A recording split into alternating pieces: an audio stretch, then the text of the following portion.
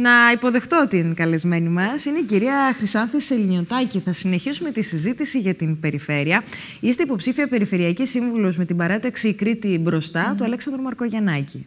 Ευχαριστούμε πάρα πολύ που είστε εδώ. Εγώ ευχαριστώ. Είναι η πρώτη φορά που ασχολείστε με την αυτοδιοίκηση. Η πρώτη φορά και με τη μία στην περιφέρεια, υποψήφια. Και, και η πρώτη φορά που πηγαίνω στο τηλεοπτικό Κάθε αρχή και δύσκολη. Κάθε αρχή, ναι. Λένε, αλλά θα πάρετε το βάπτισμα του πυρός λοιπόν σήμερα και χαίρομαι πολύ που το κάνετε εδώ μαζί μου. Πώς σας φαίνεται η ενασχόληση μέχρι τώρα, και το ρωτώ αυτό, γιατί έρχεστε για πρώτη φορά έτσι σε επαφή με τον κόσμο, ζητάτε, διεκδικείτε την ψήφο του. Πώς σας φαίνεται η διαδικασία; Είχα λίγο τρακ. Δεν το είχα δει σοβαρά από την αρχή. Mm Λίγο στην πλάκα. Μετά άρχισε να, να μπαίνω δυναμικά κι εγώ στον αγώνα μιλάω με τον κόσμο, καθημερινά βγαίνω και με γνωρίζει ο κόσμος και έχω μια πολύ θετική Ανταπόκριση, Ανταπόκριση από ναι. τον κόσμο. Νομίζω ότι πλέον ο κόσμος ε, είναι ιδιαίτερα θετικός στο να βλέπει νέους ανθρώπου. Νέους ανθρώπους θέλει να συμμετέχουν οι νέοι στα κοινά. Mm -hmm. Και είναι πολύ ευχάριστο που και στην τοπική αυτοδιοίκηση, τόσο σε επίπεδο Δήμων όσο και σε επίπεδο περιφέρειας, είμαστε πάρα πολλοί νέοι υποψήφοι.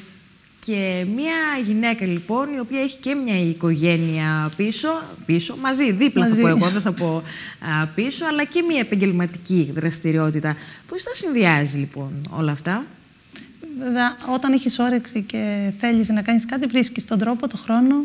Mm -hmm. ε... Και νομίζω ότι όλα γίνονται από θέμα θέλησης. Ναι, έτσι, άμα θες, τα καταφέρνεις. Τι σας έπεισε στον Αλέξανδρο Μαρκογιαννάκη και είπατε το ναι σε στο να βοηθήσετε σε αυτή την προσπάθεια; Τον Αλέξανδρο δεν τον ήξερα, τον γνώρισα τους δύο τελευταίους μήνες από κοντά. Και με την πρώτη κουβέντα μας, χωρίς να το σκεφτώ, λέω ναι, δέχομαι, γιατί θέλω την αλλαγή. Θέλω μια Κρήτη μπροστά, μια Κρήτη καλύτερη. Μια Κρήτη που τα παιδιά μου θα μπορούν ε, να οδηγούν σε ένα ασφαλές οδικό δίκτυο, θα μπορούν να απολαμβάνουν μια εκπαίδευση, μια παιδεία με όσο το δυνατόν περισσότερα εφόδια, τόσο σε επίπεδο κτηριακών υποδομών, όσο και σε παροχές ε, ψυχολογικής στήριξης, ε, ειδικού εκπαιδευτικού προσωπικού στα σχολεία που λόγω της ιδιότητάς μου σαν εκπαιδευτικός και πόσο μάλλον εκπαιδευτικός ειδικής αγωγής 10 χρόνια Έχετε βιώνω τα προβλήματα, έτσι. βλέπω...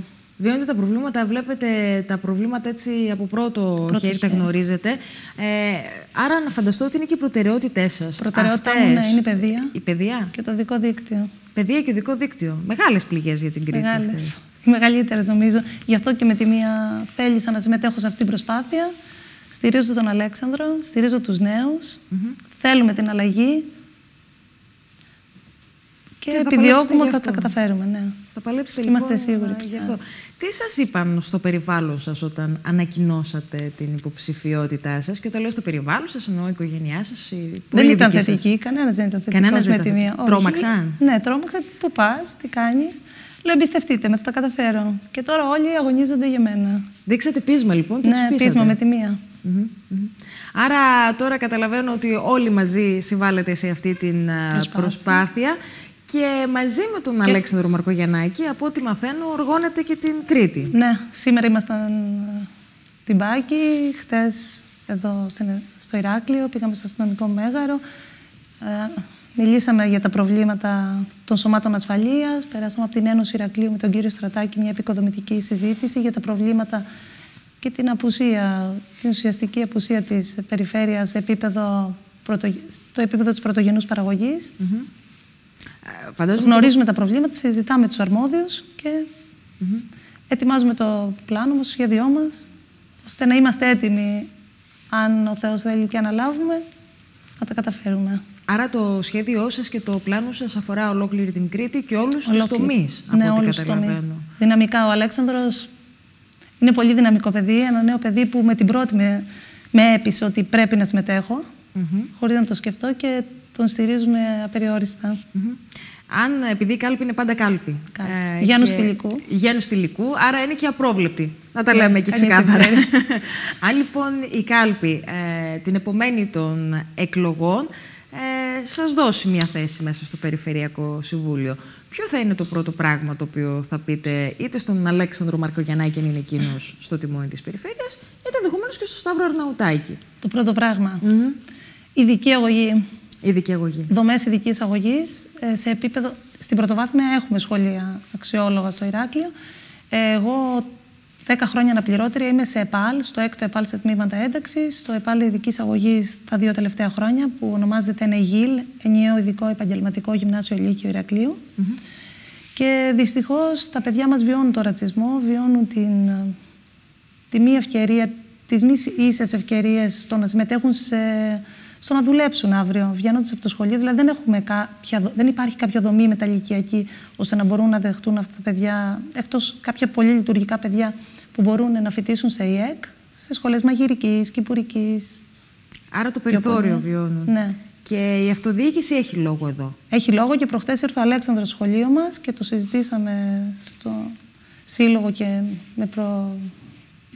προτεργάτρια τη, τη διευθύντριά μας, την κυρία την Έλληνα Τσεκελάρη και συζητήσαμε αυτό ακριβώς. Να προωθήσουμε ώστε να μπορεί να ιδρυθεί και μια δομή για τα παιδιά αυτά αύριο. Ναι, γιατί ξέρετε, νομίζω ο κόσμος ακόμα και σήμερα ότι ζητήματα εκπαίδευσης, ζητήματα παιδείας είναι αποκλειστική η αρμοδιότητα του κεντρικού κράτους. Αλλά ευθύνη έχουμε όλοι.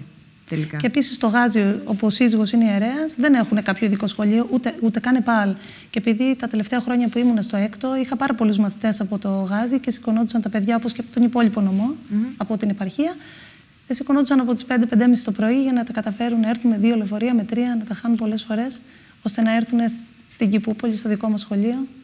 Πόσες και να πάρουν το πτυχίο τους. Πόσες δυσκολίες, επειδή είπατε για τον σύζυγό σας ότι είναι ιερέας, διάβασα έτσι σε μια πρώτη σας τοποθέτηση για το ποιες είναι οι προτεραιότητές σας, ότι είναι και η συντήρηση των ναών. Και η συντήρηση, ναι, δεν μπορούμε να αφήσουμε και τους ναούς απ' έξω.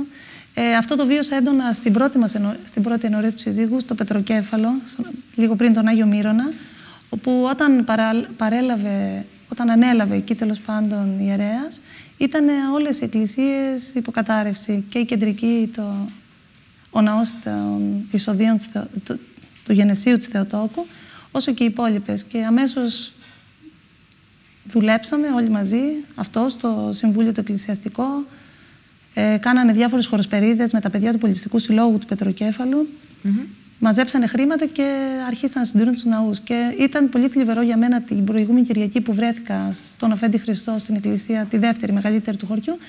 Και ενώ την είχαν συντηρήσει βάψη λόγω υγρασίας, λόγω έλλειψης παροχών από περιφέρεια, από κάποια άλλη αρμόδια αρχή και χρηματοδότησης, είδα πάλι στην ίδια κατάσταση με τι οβάδε να κρέμονται και.